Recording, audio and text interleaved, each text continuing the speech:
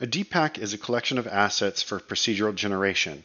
And in Spock, we have a lot more possibilities for these assets to contribute to the procedural generation than we had in simple sci-fi. So we're going to be specifically going over all of that. I've got the checklist here in case that you just referred back to this video for the quick checklist to see if you are covered or not. And now we're going to go into all of these details. At the most basic level, a DPack is just going to have a bunch of collections, and these collections are going to have assets in them. And you can name the collections for a theme, such as like windows or doors, and then the entire DPack might be named for a theme for all those collections put together. One of the first things we want to make sure is covered is that everything has a, all their transforms applied. You don't want them to have rotation or scale or anything. Just make sure that all of the objects in in the collection and all of the uh, child objects of those objects all have their transforms applied. Next, we want to make sure that their origins are set. There are some things inside Spock that will try to set the origins for you, but if you have these origins preset, then it's going to be a lot more consistent and, and have less issues. So what you want to do is you want to have make sure that you have a parent object and then it has a bottom Z origin set. I happen to have a, uh, a quick button for this. And then if you have any children, you want to make sure they have the same origin. So you see how this one has a different origin, that's going to throw things off. So what I'm going to do is I'm going to go ahead and go to all these and I'm going to clear their parent. And now I'm going to go to what's going to be the parent and I'm going to set the cursor to selected, that's going to put the cursor at its origin, which is already at bottom Z. I'm going to select the objects that need to be parented to it or that are children of it. Select the parent last, Control P, and we will parent to that object. What we want to do is make sure that their origins are set to, we'll say set origin, and we will say origin to 3D cursor. Now if I select those individual items, everybody has the same origin, and that's exactly what we want. That will ensure consistent placement of this object with its children. Next, let's make sure that we have the proper names on this. If you happen to use the old simple sci-fi names that start with a BOT underscore or a top underscore, such as this, BOT underscore, and we'll say uh, wall surface, this will work. Uh, doing the top designation will also work. So top underscore boxes. And these were simple sci-fi designation, the, the prefixes of bot the underscore and top underscore. And then in Spock, we have the new designation of uh, SP underscore. So SP underscore. These, oh, I'm going to go ahead and rename that. So sp underscore windows.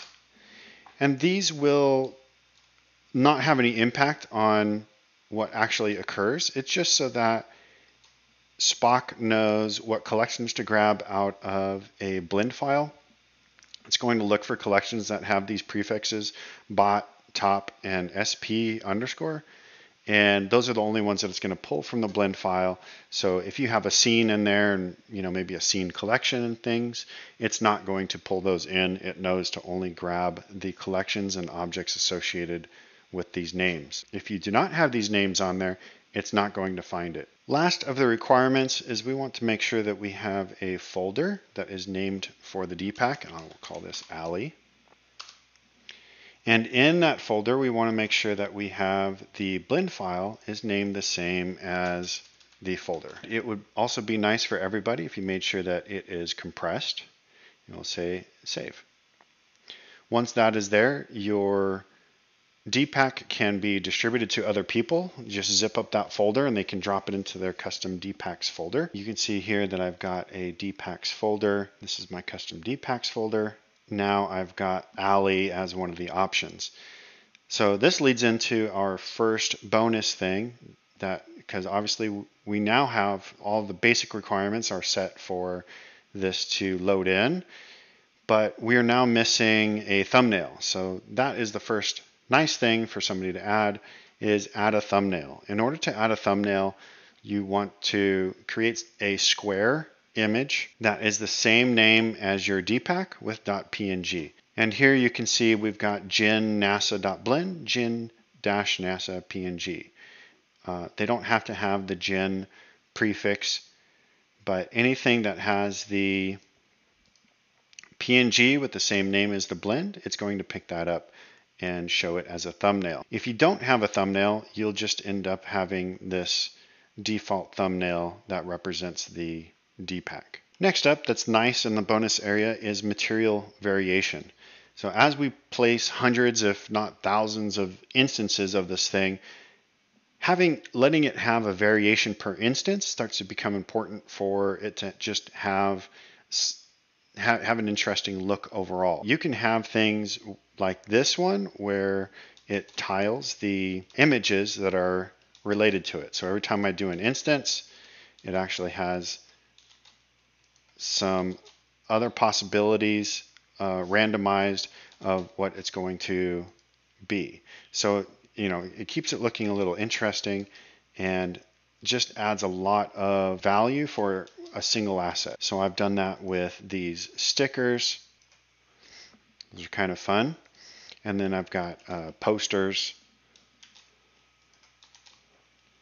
And I, I put all these together all in one collection. They're just random stuff that goes on a surface, but you know, besides just packing these, you know, instead of these just being static as they are, each one has variations that it goes through. When you get Spock that will come with some materials that are used for this and you can copy how those are done. Variation in the materials, pretty nice thing to do, pretty fun. Um, I'll show you one more example. I've got on both this neon sign, I've got a random emission. Another possibility we built in is kind of experimental. It's the ability to have randomization with something like geometry nodes. So I've got this single this single object is instance across a plane, and I have some randomization as to its height. And you can see how that's done here. It uses the self object and some randomization in order to change the the transform scale on Z. Uh, and it, that's based on location. That's why there's a pattern there. But if you apply this to some some objects such as maybe skyscrapers for a city or you know anything else that you want some slight variations to its geometry, that could be kind of interesting and fun to do. I definitely recommend testing it thoroughly because it might be a little too heavy to instance a lot. It depends on how much you've got going on in a scene, but we do have that capability here. Next, we can go over another special case, which is using wireframes. We already went over how you can do parents and children that share the same origin so that they're placed together.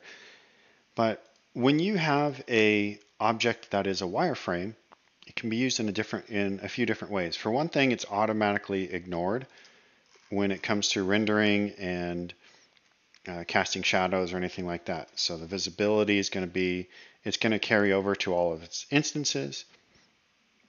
And when it comes to rendering, it's not going to show up anywhere. But you can use these in various ways. You can use it as the parent so that you can set a custom bounding box that maybe has an extra margin on top or something. And it's going to ignore all of the children for the bounding box. So if you use a wireframe bounding box, you can basically set a custom bounding box that everything packs according to. Uh, let's say it needs extra space above it or something like that. Uh, you can build that into the object and that will be a way of doing like a custom origin that is specific to that object. Another trick you can do is have the wireframe as a child so that it can stick through a surface and you can use that as in an avoid collection or maybe you want to use those later to uh, set up booleans such as for this door you want it to cut into that surface. Lastly, I'd say for any extras is if you want to set up a scene for people to use, it might be nice. So because we're using blend files as DPacks, you can include a basic scene, make sure that your orphan data is gone, So uh, we actually have that tool inside of the thing. Just hit clean all data. And if you save it like this, it's going to leave people with something they can use when it comes to, you know, quickly being able to play with it. And it's not going to interfere with your DPack being imported. It just, you know, giving something people can quickly play with can be nice. You can give them default settings. These these all will save into the scene. So if you give them something where they can just hit it, select something, or maybe it's already selected, and they hit pack, that could get them started very quickly and quickly be uh, happy with the DPack that they uh, got from you. That's it. Let me know in Discord if there's anything that you'd like to see added to this, and I'll see you online.